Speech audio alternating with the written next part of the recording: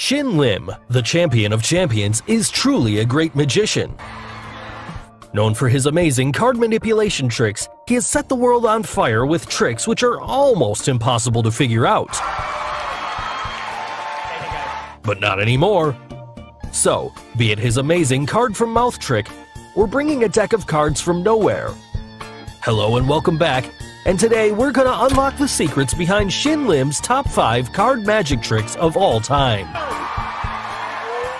So, let's get started. At number 5, turning a deck to a card. On the famous Penn and Teller show, Shin Lim took a deck of cards from a pack and then showed to everyone that it's a real deck of cards. Now, making some magical gestures and in a very quick moment, he turns the entire deck to a single signed card, and that signed card in his left hand turns to a deck. Well, the secret to this magic is really simple. Shin Lim first took a real deck of cards, which had a gimmick card placed inside it, and that gimmick card can be fold opened to make it look like a deck of cards. And if you look closely in the video, at this exact moment, he brings that gimmick card from the deck onto his left hand and places that signed card at the bottom of the deck using his amazing skills. Now, if we slow down the video, we can figure out this trick. In his left hand, he has the gimmick card that he opened to look like a deck of cards. And in his right hand, holding on to the signed card at the bottom of the deck, he flicks the real deck of cards inside his jacket, thus turning the deck into a single signed card. Now finally, he covered both the signed card and the deck with both his hands and converts the gimmick deck back to seem like a single card and places both the cards back on the table. Now, before moving to the next one, if you haven't subscribed to our channel yet, make sure to subscribe and hit the bell icon so that you can get instant notifications of our new video uploads. At number 4, Card from Mouth Trick. In this trick, Shin Lim first flipped the Jack card signed by Heidi upside down. Then, making sure there's nothing in his sleeves, he kept the deck of cards in his mouth. Now, with some magical gestures, when he flipped the card again on the table, the Jack card signed by Heidi turned into a blank card. But wait a second, what do we see? The Jack card signed by Heidi now comes out of the mouth of Shin Lim. Really, can that even happen? Yes, of course, even that's possible with sleight of hand. If you look in the video, there absolutely seems to be no reason to us why did Shin Lim keep that deck in his mouth? But this is where the real secret lies. If you look closely in slow motion, you can see at this very moment, Shin Lim grabbed the Jack card signed by Heidi to the bottom of the deck and slipped the top card in that deck onto the table, which was indeed a blank card. Now, the Jack card was at the bottom of the deck. And during this very moment, Shin Lim folded that card to a quarter and held that folded card tightly at the bottom of the deck. He also acted and made sure to show everyone that nothing was in his sleeves, and then kept that deck in his mouth. Now you must have got it. Keeping the folded signed card in his mouth, he brings back and places the deck of cards onto the table, and goes on to reveal the card on the table to be a blank card. And finally, he moves on to reveal the curious case of Heidi's signed card, which he brings out of his mouth in a magical way. At number 3, turning Queen of Spades to blank. In this amazing card trick, Shin Lim kept the Queen of Spades signed by Tyra in between her palms, and waved the other blank card in the air. And in just a moment, he magically converted the blank card to Tyra's signed card. Then, to everyone's surprise, the signed card in between her palms turned into a blank card. So how did he do it? Well, here's the secret. For this trick, Shin Lim used two cards, one Queen of Spades signed by Tyra, and another one that was blank. Now, if you look in the video, this is all sleight of hand. If you look closely in slow motion, you can see the trick revealed. Shin Lim took the card signed by Tyra and pushed it into the deck at the second position. And with a quick sleight of hand, he took the top card from the deck, which was actually a blank card, and then kept it in between her palms. Now you must have got it. The top of the deck now had Tyra's signed card, and he took another blank card from the table, and in between this camera angle change, he placed it on the deck and in a quick moment, grabbed two cards at once. Now at the front was a blank card, and at the back was Tyra's signed card. Shin Lim waved the card in the air for a couple of times, and then, in a quick moment, flipped over the card to the side where he had Tyra's signed card. Now he again kept that signed card on the deck, and this time around he left the blank card and only took the first card, which was her signed card, and showed it to the audience. Also, when he revealed the card in between Tyra's palms, it was now the blank card, because as we already know, that was the card he had kept there with his sleight of hand. At number 2, Deck of Cards from Nowhere. In this magic trick, as you can see, Shin Lim initially had only two single cards, but sliding those cards against the table made many more cards appear on the table. So, how's that possible? Because the two cards that he initially showed to us were really just two cards and involved no gimmicks. Well, the entire secret lies in the absolute black table. To understand this trick, we need to understand the concept of absolute black. Absolute black absorbs all the light and does not allow any reflection. And when we place anything over it with the same absolute black color, it becomes impossible to figure that out because it seems exactly like a flat, even surface, just like this example. So, with the similar concept of absolute black color, the table of Shin Lim for this trick is made that makes it to look like a flat surface.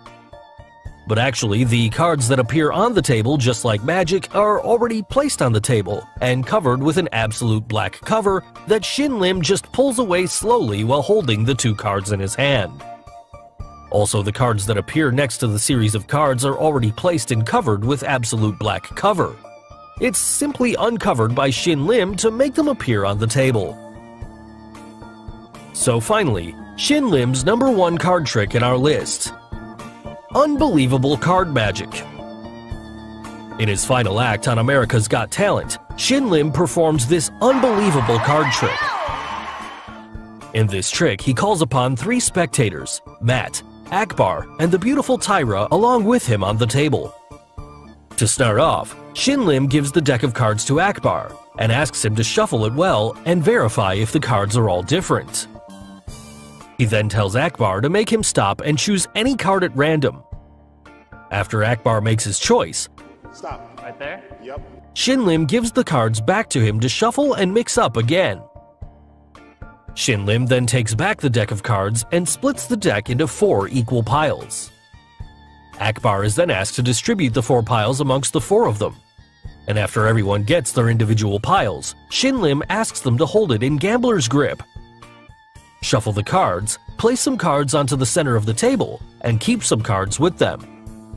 And he tells them to repeat this process until all cards are placed onto the table. He again asks them to grab their pile of cards, and reminding them of the cheater's rule, he tells them to throw away the top card onto the table and to keep throwing away the top card until he makes them stop. Now Shin Lim asks them to count the number of cards each one of them are left with. Here, after throwing away almost 60% of the cards to the center of the table, the trick becomes a little harder as the card which Akbar chose could be in anyone's pile of cards that they are left with, and more chances are that the card should be in the middle of the table. Now with almost 10% chances after all this shuffling and stuff, and to everyone's surprise, Shin Lim points to Akbar's top card in his pile and tells him that it is his chosen card, i.e., the Jack of Clubs. And after turning that card, it was indeed the card that he chose. The trick didn't end there. The piles with Tyra, Matt, and Shin Lim, each on its top, had the card of Jack. Now that really made this trick to be a great finale act. And yes, we will be revealing the secret behind this amazing trick. Firstly, the deck of cards that Shin Lim used was not a gimmick. It was just a pure deck of cards which he gave it to Akbar to shuffle. After Akbar had shuffled the cards, he took the deck back and flickered the deck for Akbar to choose any card at random. Akbar then asked Shin Lim to stop. Now during this very moment, as you can see, Shin Lim had just twisted the deck where Akbar asked him to stop. This was done by him to make sure he could hold the part where the twist happens, and it becomes easier for him to peek into the card that Akbar chose. Now, once again, Akbar shuffled the cards and gave it to Shin Lim. Shin Lim now already knew the card that Akbar chose, and that it was the Jack of Clubs. So, knowing this, he divided the deck into four piles, and kept the top card on each pile as the Jack, and also he made sure he remembers which pile had the Jack of Clubs. Now he asked Akbar to distribute the four piles between the four of them. As it turns out, the pile that Akbar himself took had the Jack of Clubs at the top, which Shin Lim already knew. Now firstly, Shin Lim asked all of them to grip the pile in their hands and keep the top card from their pile on the table. Guys, remember, this top card that they kept down are all jacks. Moving on, Shin Lim asked them to shuffle the rest of the cards and then keep some down over the first card, and then again shuffle, and keep repeating this process until all cards were onto the table. This was all done only to bring the jacks to the bottom and make everyone sure that all the cards were evenly shuffled. Now, Shin Lim asked them to throw some cards to the center of the table one by one and keep some cards with them. On the center of the table by now, almost 60% of cards were thrown, which made everyone believe that the card chosen by Akbar could be somewhere in the center of the table. But as you know, all the jacks are in their piles at the bottom. Now Shin Lim asked them to count the remaining cards from top to bottom, and in this process, the order of the cards got reversed. The bottom card was now on the top of the pile. And now you must have got it. The top card in each of their pile had the jack. Finally, Shin Lim, with his great confidence, tells Akbar to speak out his card. Jack of clubs. Then tells him to flip over the top card in his pile, which was indeed the Jack of Clubs that he chose. And to end the trick, Shin Lim asked everyone to turn the top cards in their pile, which you all know by now, is a Jack. So guys, hope you got the secrets behind some of Shin Lim's greatest card magic tricks. Which card trick did you like the most? And name any Shin Lim trick you would want us to reveal.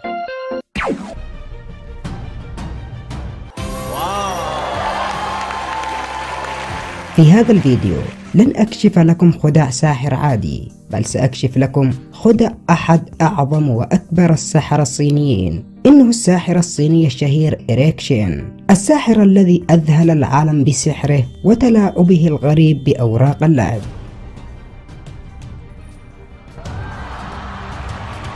وهو الفائز بجائزة أفضل خدع سحرية في المسابقة العالمية للألعاب السحرية.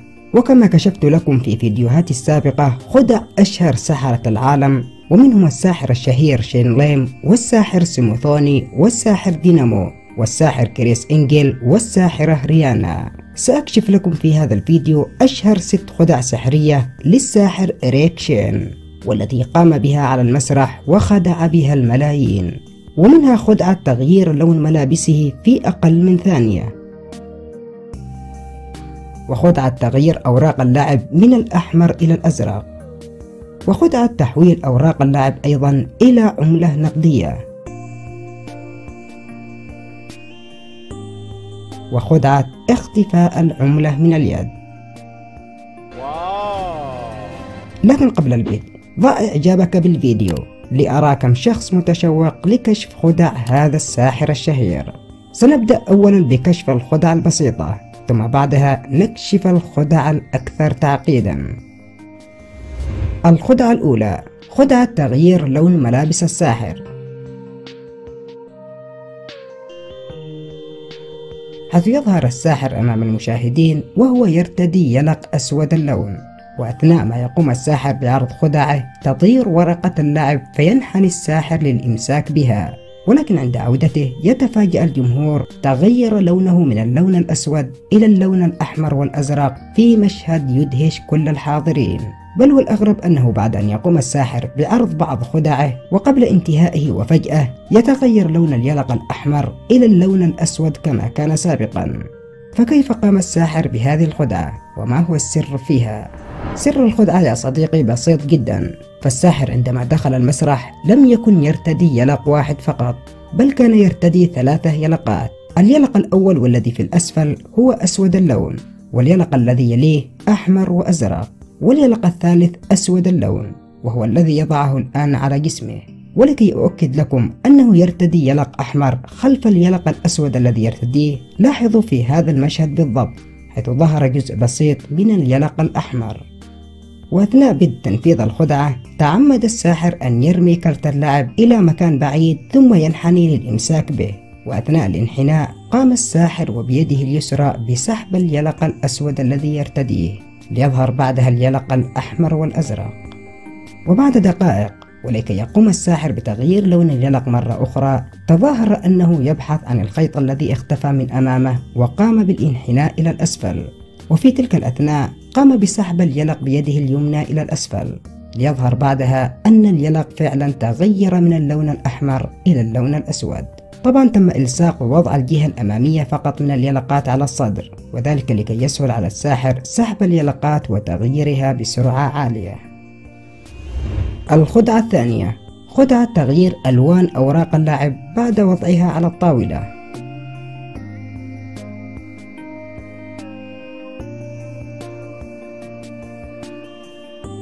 تعتبر هذه الخدعة هي إحدى أبرز وأشهر الخدع السحرية التي قام بها هذا الساحر وتعتبر الأكثر تعقيدا. حيث يقوم الساحر بالجلوس أمام طاولة سوداء. ووضع خيط صغير عليها ليفصلها إلى جزئين بهذا الشكل. ثم يقوم الساحر بعرض أوراق اللعب للمشاهد لتظهر لنا أنها كلها بلون واحد.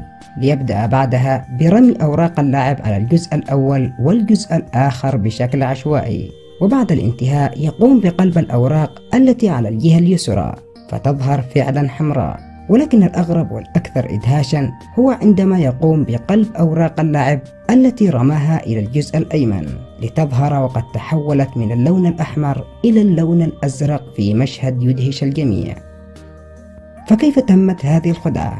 وكيف تحولت هذه الأوراق من اللون الأحمر إلى اللون الأزرق في لمحة بصر؟ في الحقيقة فكرة هذه الخدعة قوية ورهيبة فعلا وتجعل من يشاهدها كأنه يشاهد فعلا سحر حقيقي. مع أن سر الخدعة بسيط للغاية فالسر في الخدعة هو أن الساحر لا يقوم بأخذ رزمة من نوع واحد فقط كما كنا نظن بل يأخذ إلى يده رزمتين. كل رزمة يختلف لونها عن الأخرى ولكنه يقوم بإخفاء إحدى الرزم في الأسفل بهذا الشكل. وعندما يقوم بسحب الأوراق ورميها إلى الجهة اليسرى يأخذ الأوراق من أعلى الرزمة. ولكن عندما يريد رميها إلى الجهة اليمنى يقوم بسحب ورقة لعب من أسفل الرزمة والتي هي باللون الأزرق وبهذا الشكل. طبعا هذه الحركة تحتاج إلى سرعة وخفة يد عالية جدا حتى لا تنكشف الخدعة ولكي أثبت لكم صحة ما أقول دققوا جيدا في هذا المشهد بالتحديد ستلاحظ أن الساحر عندما أراد إخراج إحدى الأوراق ظهر بالخطأ جزء من ورقة زرقاء في الأسفل.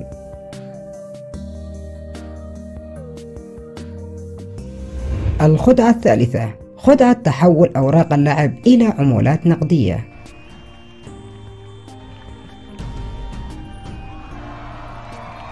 طبعا الساحر قام بتبديل أوراق اللعب إلى عمولات نقدية بطرق عديدة وذكية. كهذه الطريقة مثلا